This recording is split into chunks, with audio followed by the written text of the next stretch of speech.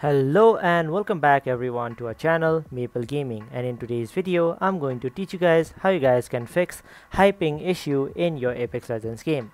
So to fix your high ping issue in your Apex Legends game all you have to do is firstly be in the correct server and play in it right. So firstly click on escape and go over to main menu and after that right here where it says data centers click on it and after that choose the correct data center so for me the closest one is Singapore and it's showing me 83 ping right? Uh, I think my my closest would be Bahrain but it's showing me 237 ping on it.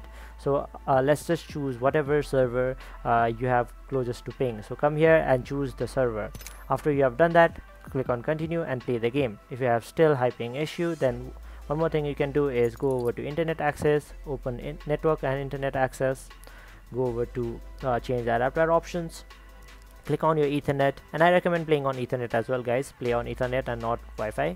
So just click on ethernet and click on properties.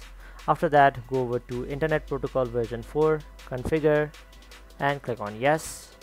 Go to advanced and click on r. So you search for r. So go over to receive buffers.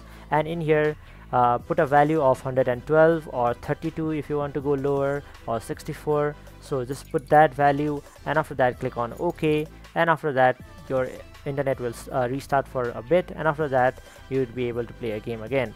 If that fixes your issue then that's good. If not you'd have to contact your ISP one more thing you can do is download this app called ExitLag so just go over to your search bar and type in ExitLag and after that download it. This helps in reducing your ping as well. So that's how you guys can reduce ping in your Apex Legends game. So thank you for watching. Make sure to like, share, comment and subscribe. And don't forget to hit the bell icon so you don't miss out on next video. Also if there is any video that you guys want us to do then please comment it down below and we will do so for you guys. Thank you for watching and see you guys next time.